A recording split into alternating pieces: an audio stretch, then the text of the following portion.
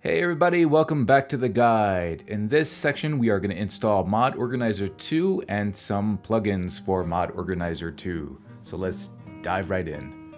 So first of all, we're going to install Mod Organizer 2. So go ahead and click here. Under Files.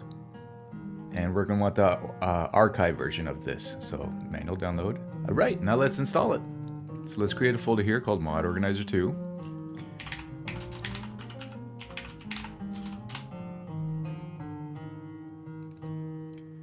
And just drag the contents of this zip file into that new folder.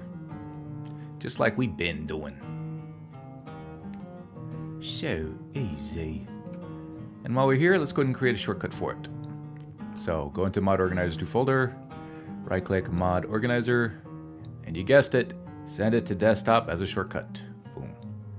Great. All right, let's go ahead and uh, configure Mod Organizer 2. Let's get it set up. So in this section here, choose your instance. We're going to want to choose portable. Then here, obviously, uh, we're going to choose Skyrim Special Edition. And there we go. You are starting Mod Organizer for the first time. Do you want to uh, do you want to show a tutorial of its basic features? If this is your very first time ever using Mod Organizer 2, I recommend uh, that you click yes to be a little bit acquainted. You don't have to, but um, it is recommended. I'm going to click no. Okay, now it says Mod Organizer is not set up to handle NXM links associated with NXM links. Uh, what are NXM links? It's links uh, to uh, Nexus, to the Nexus where we're going to down download the vast majority of our mods. Um, you do have to have uh, an account set up there. Um, you can set up a free account, but I highly recommending uh, I highly recommend to subscribe to their uh, to the pre premium. with premium, you get much faster downloads, and also um, as a bonus, they uh, uh, you don't have to endure the ads on the the web page. But uh, click yes.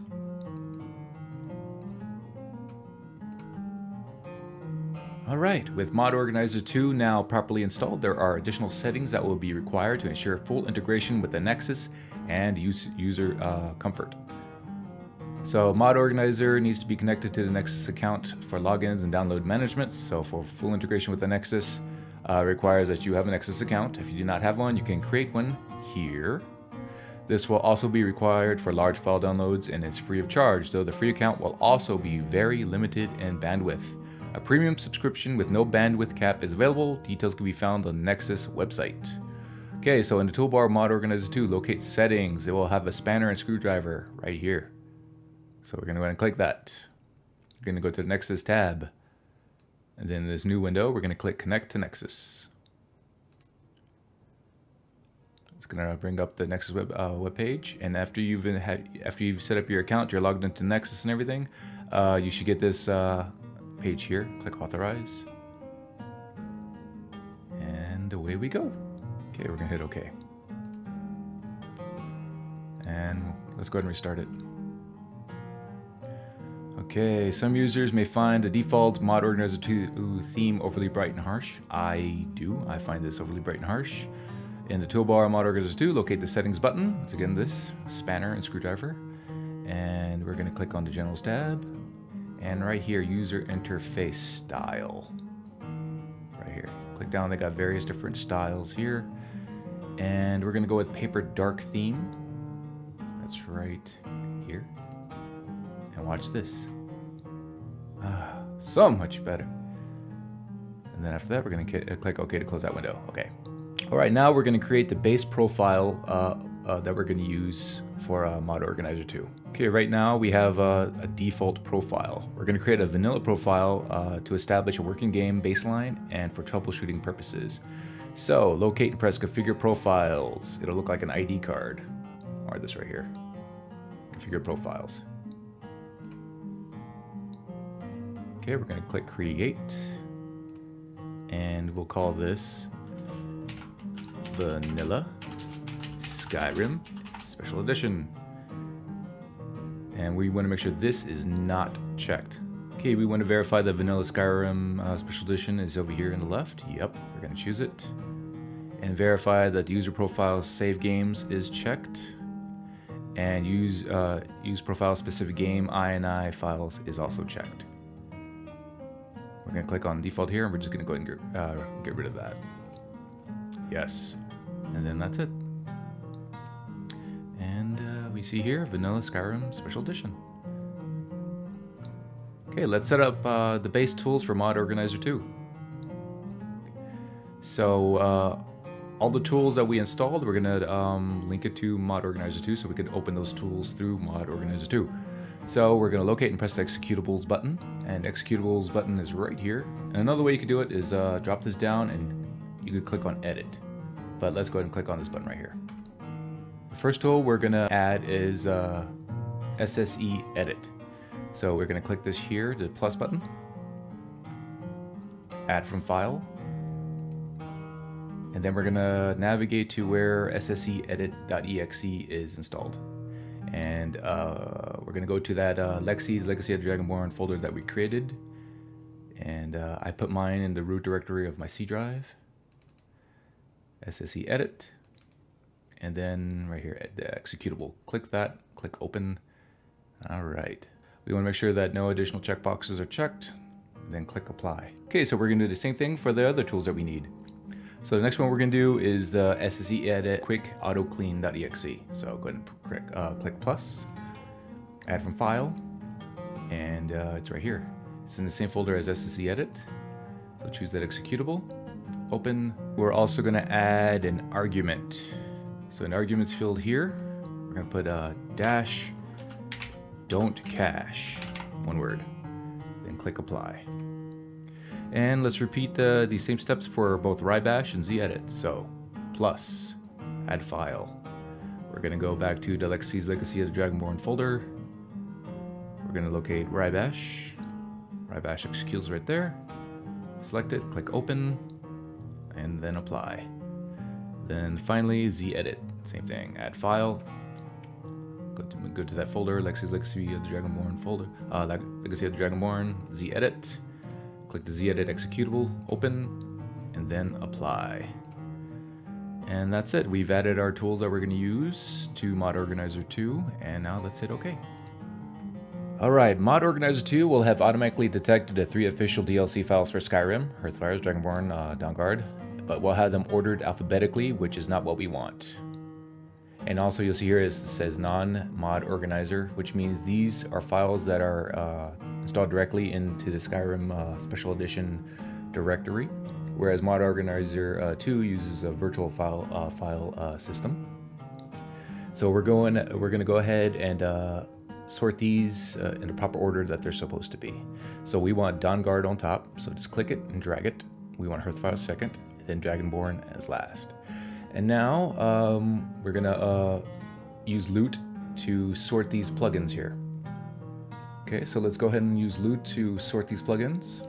So from this drop-down menu, choose loot, click run. And then after loot is uh, loaded, we're gonna press these three bars here to sort the plugins. So no sorting was needed, but if it was needed, you would see an apply button up here. You would click apply, and then when you close uh, loot, it would automatically uh, arrange these in a proper order.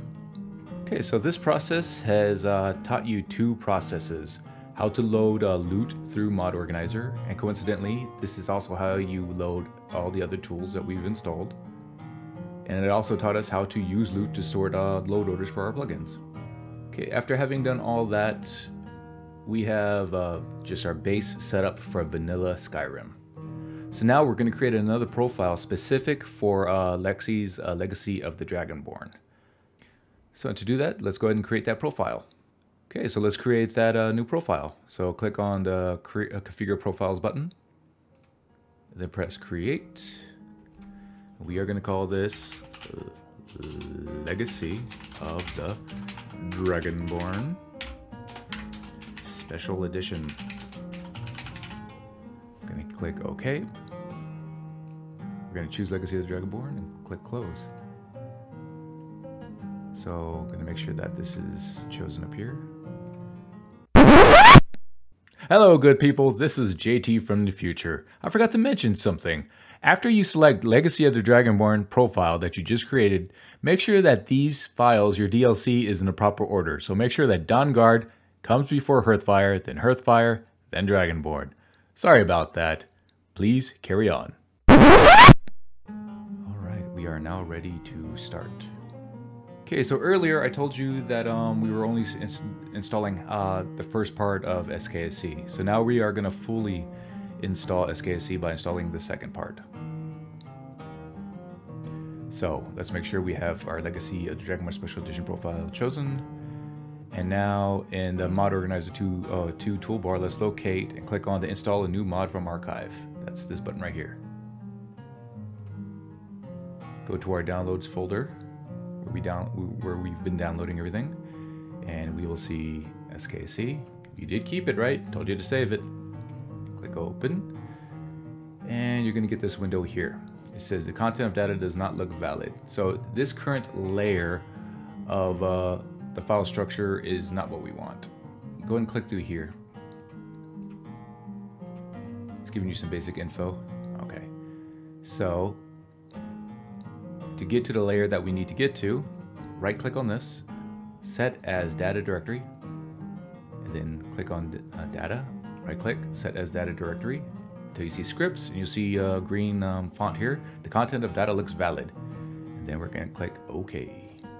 And let's go ahead and rename this here by right clicking, rename the mod, and we're going to call it SKSE scripts. Go ahead and click that to activate it. So after you do that, you will notice here under version, it has this, uh, it has a date instead of actually showing the version number of uh, SKSE. And it's not a big deal, but Lexy's guide uh, is going to have us sort that out. So SKSE does not have a version number or category set. So we're going to right click on SKSE scripts.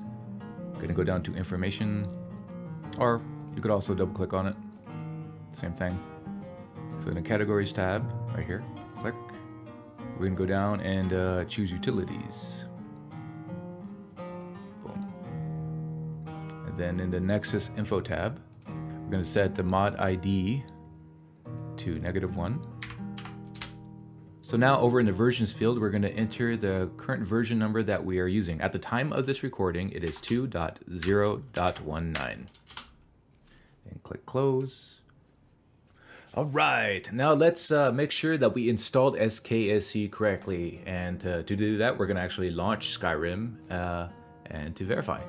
So now this is also how, uh, from now on, how you're going to launch Skyrim. We are no longer going to launch Skyrim through Steam. We're going to launch it through uh, Mod Organizer 2. And to do that, you would drop down the menu here, and we're to click SKSE. So we're actually launching SKSE, which hooks into uh, Skyrim, and it's to load that way. So choose that, click Run. All right. So after the music plays and we get to the menu, click the tilde key. That's the key next to number one on your keyboard. And then we're going to type get SKSE version, all one word, and then hit enter. And there you go, SKSE version 2.0.19. Excellent. You did it. Good job. Let's go ahead and exit out the game. Alright, the final thing we're going to do in this video is install the Merge Plugins Hide plugin for Mod Organizer 2. And this is how we do it. So go ahead and click download here. Download source code. Save.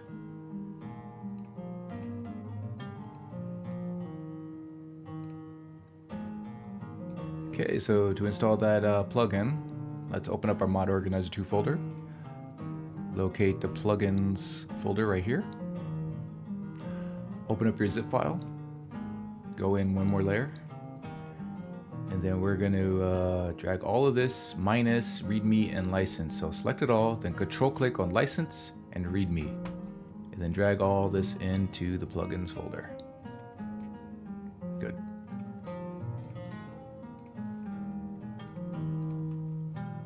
All right, now we're going to configure it. So click on uh, the configure settings, click on plugins, and then go down to merge plugin hide. Okay, if you don't see it, it's because uh, we need to refresh Mod Organizer 2. So go ahead and close out Mod Organizer 2 and reload it.